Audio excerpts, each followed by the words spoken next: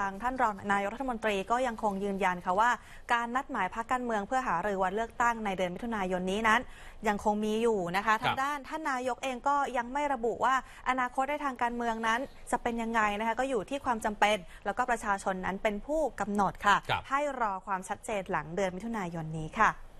พลเอกประยุทธ์จันทร์โอชานายกรัฐมนตรี มองว่าการออกรอบตีกอล์ฟของแกนนำพักเพื่อไทย ที่สนามกอล์ฟของตระกูลสะสมทรัพย์นั้นเป็นเรื่องปกติค่ะ ไม่มีนัยยะทางการเมือง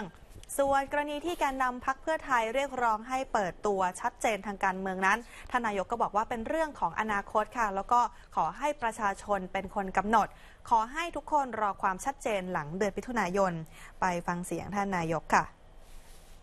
ผมไม่ได้เล่นการเมือง เล่นการเมืองผมจะไปเลือกตั้งนี่เป็นสสดิมันจะไปได้ไหมเล่าไม่ได้ และถ้าจะไปดูใจท่านนายกจริงๆเนี่ยคือนายกมองดูสถานการณ์การเมืองตรงนี้แล้วนายกอยากจะลงไปอย่าถาม อย่าถามว่าอยากหรือไม่อยากรูปแบบของนักการเมืองอย่าถามว่าอยากหรือไม่อยาก ถ้าถามว่าอยากอยากไหมไม่อยาก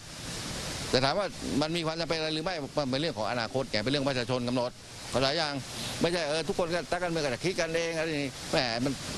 คือผมไม่เคยมองว่าผมสำคัญกว่าใครนะหรือเก่งกว่าใครไม่เคยคิดอย่างนั้น แต่เป็นเรื่องของประชาชนว่าจะว่ายังไงก็ว่ามาเขาต้องการอะไรอะแต่สถานการณ์ในวันนี้ท่านนายกคิดว่าท่านนายกมีความจำเป็นจะต้องอยู่ต่อไม่รู้ยังตอบไม่ได้นอกไปรอมิถุนาไปแล้วนู่นไปจบ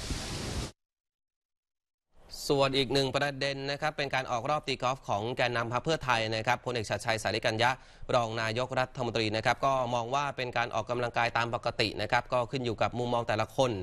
ถึงเรื่องของนัยะทางการเมืองนะครับ ส่วนตัวเองหากจะไปออกรอบนะครับนักข่าวก็ถามทางพลเอกชัดชัยนะครับ ก็บอกว่าจะไปออกรอบก็น่าจะไปกับท่านนายกนะครับ แต่ก็มีความเป็นไปได้น้อยนะครับ เพราะว่าทำงานหนักนะครับไม่ค่อยมีเวลาด้วยนะครับ ส่วนฝากฝั่งของท่านอาจารย์วิษณุเครืองาม รองนายกรัฐมนตรีอีกท่านหนึ่งก็ยืนยันนะคะว่า การนัดพักการเมืองเพื่อหารือวันเลือกตั้งในเดือนมิถุนายนนี้นั้น ยังคงเป็นไปตามเดิมค่ะ หากพักการเมืองตอบรับเข้าร่วมนะคะว่า แต่ว่ายังไงก็ตามค่ะ ขณะนี้ก็มีหลายพักการเมืองนะคะ ทั้งพักเก่าแล้วก็พักใหม่เนี่ยขอหารือกับคอสชในบางประเด็น ซึ่งก็เห็นว่าเรื่องที่กกต